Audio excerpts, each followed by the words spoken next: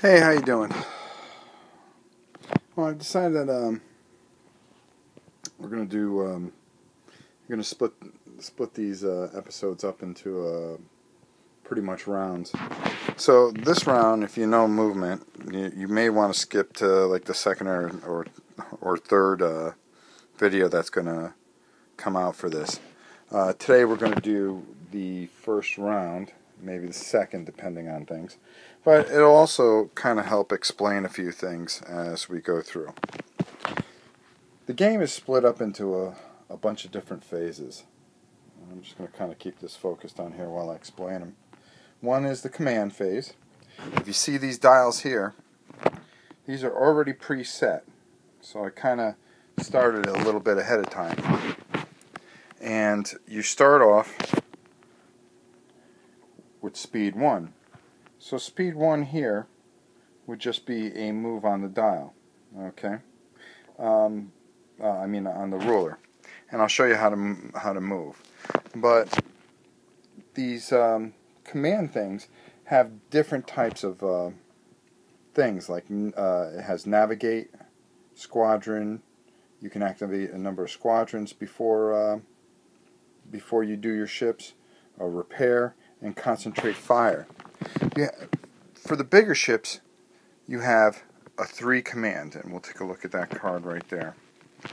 Okay, a three command. That means that you have to preset for each round. So at the end of the, uh, at the start of the command phase, we'll turn this one over. We'll use it for the round, and then reset it and put it on the bottom and then the next one. So it won't be able to work its way up for three rounds. So you have to plan ahead with the bigger ships. On the on the rebel side, as you can see, this one has a the frigate has a command of two, and the corvette, if we can get her in there, has a command one. So you only have to you set that dial every single time and you can move, which means it has more maneuverability and it's able to shift gears a lot quicker and do certain things. But of course it doesn't have the armor or the firepower as our friend over there, the Victory class. Now, normally you would play with some commanders and stuff like that, but just to keep this first one easy, I just am going to go head on and you know let's just you know fight it out. So with that said let's kind of get started. Now with initiative depending on the scenario and forgive me because i'm moving some tokens out of the way initiative is this dial here. And there's a reason why it's colored on each side and i'll explain it during the round um, whoever gets initiative has initiative for the game. So we're going to have some fun and we're just going to give, because the rebels are the rebels, we're going to give them initiative for the game. Now they get to move their ships first. So what moves first is we do the command phase. We've already done the command phase, so that's all set. Okay? And the speed is already pre-locked at 1. So what we're going to do is we're going to turn over our command tokens for each ship. And for the Nebulon, we have chosen, okay, navigate. Now what navigate does is it allows you to move up on your speed chart by one. So what we can do is we set and make sure that we know Forgive me because I'm doing this with one hand. I'm going to buy one of those GoPros. I am. I was looking at one this weekend for $129 and it improved the quality of my videos and might even actually make people watch this channel. Not that I worry about that kind of stuff. So now it's up to two. So at two, you're allowed to make, oops, let's get that in there, two clicks. So let's take a look at this. So at the one marker, okay, we can make oh, the one marker, we can click once either way. Okay, and then at the 2 marker we can click. So what happens is, how you measure is you would take and fit that into the groove there. And then you would move your ship to where the 2 is and fit it in into the groove. Now you can do it from either side, as you can see. You know, as long as you can fit it in, but of course, uh, whoops, you would crank it the other way. So, going to do is we're going to get that guy back there. And what we're going to do is we're going to do our, our official move here. So that's, that's pretty much how you move. And what we're going to do is we're going to move the ship at speed 2. Um, we're actually going to click 1 here. And I think the way we're going to do this is we're going to put the groove here. And we're going to go up to 2, which is right there. It's always from the front end of the ship. Make sure it fits in the groove there. And we're going to start heading for that big boy. So that's the movement for that. Now, what happens is, the way, the way it goes, movement with the big ships is always last. Because uh, what you do with the ship phase is you reveal your com command dial.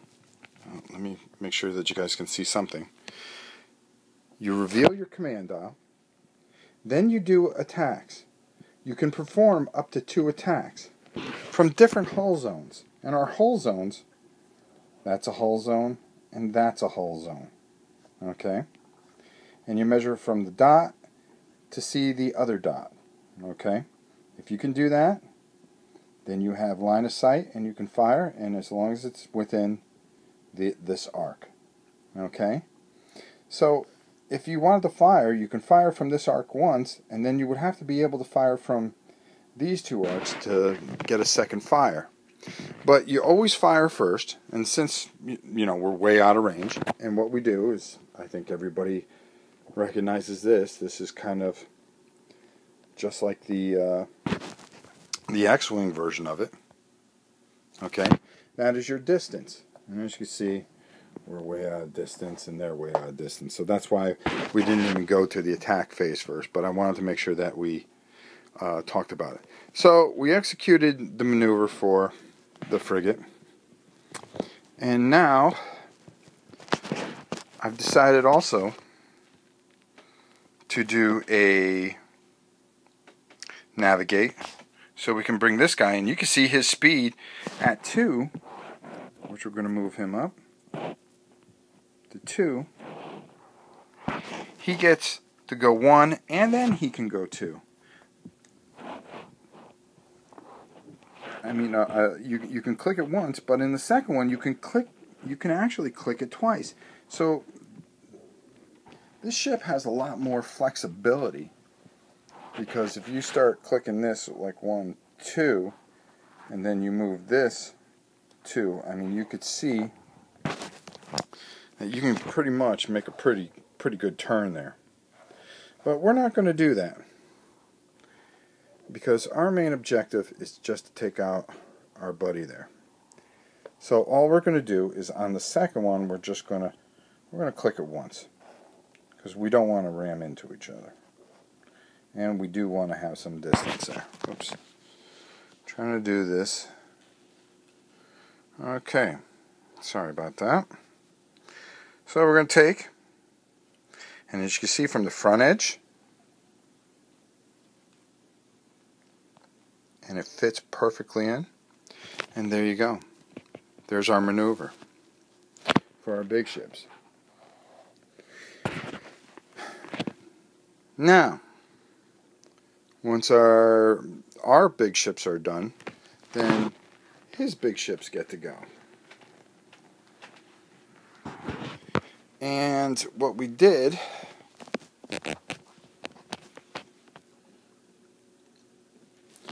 is, let's turn this over.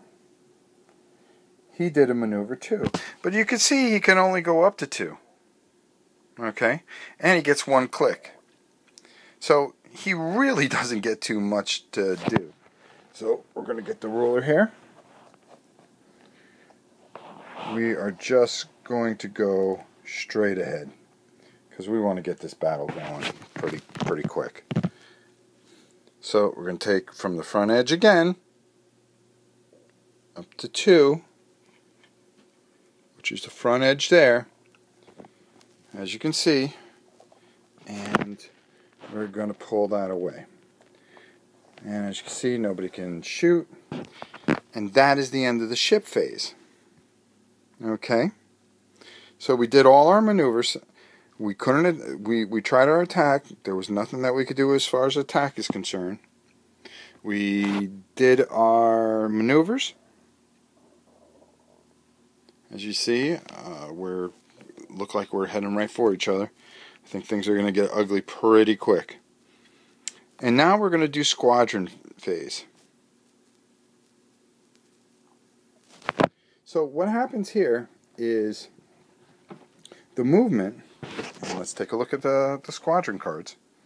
Okay, your movement is judged by this. So you have a movement of four. So you're thinking, okay, I can move on that? No.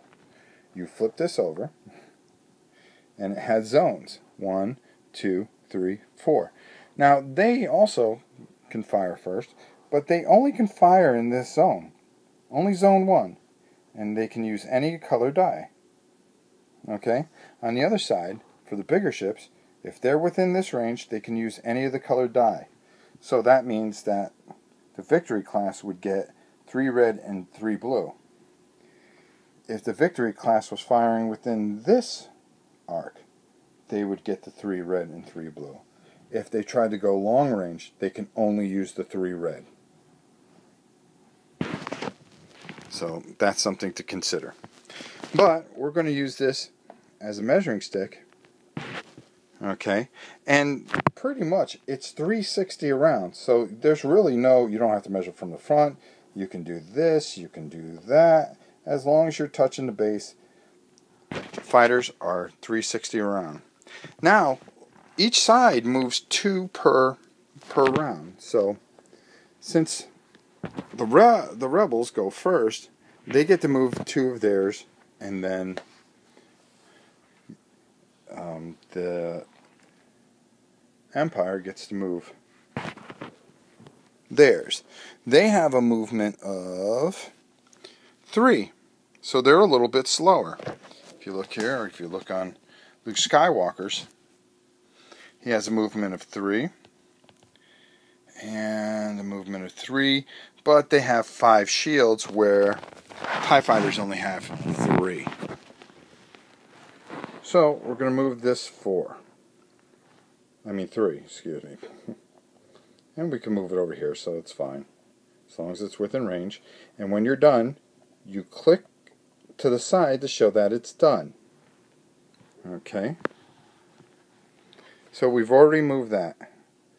And then we're going to move these guys three. Forget the camera movement. And we're going to click that to the side. So now, we're going to go on to the other side here. See how much fun it is to play by yourself? Now with these guys you can move four. So we're going to want to get right at them. And we're going to move up right there and then we click that over. I have this marked so I know that that's that but also on this base if you really look there she is. And you could flip it over because on the other bases you have that. So there you go. So we are going to move this one as well. They're going to be right next to each other, as you can see. Can't forget to click that.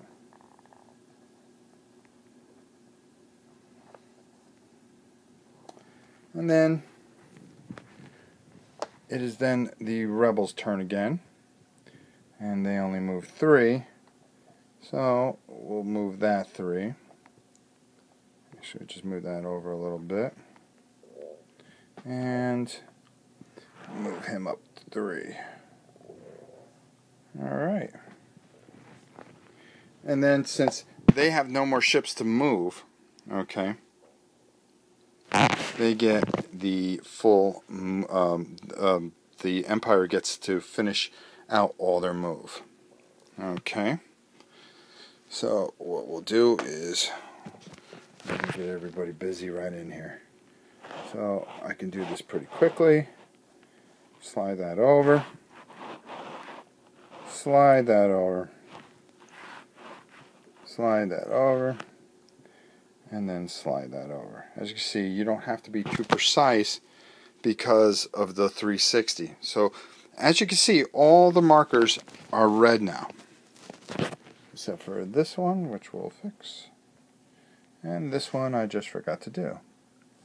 So now what happens is we flip this marker over to the red side. That means that the next round, okay, since the round's all done and we would redo our orders again, okay, that to activate something, it would have to be in the red zone. So it's kind of a nice little feature so you don't have to go, okay, switch them all back to blue. No, you just turn that over and then you know that anything that has not been activated is in red and then um, is act activated in blue. And then you would just swap it over again and again. So that's our first round. I hope that um, solves a lot of things as far as movement's concerned. Um, and the next round we're going to do two rounds. I mean, next uh, video we're going to do two rounds and we're going to start getting right into it. And you can tell that this closes pretty quick and we're going to be doing some firing and some maneuvering. So I'm going to think this out.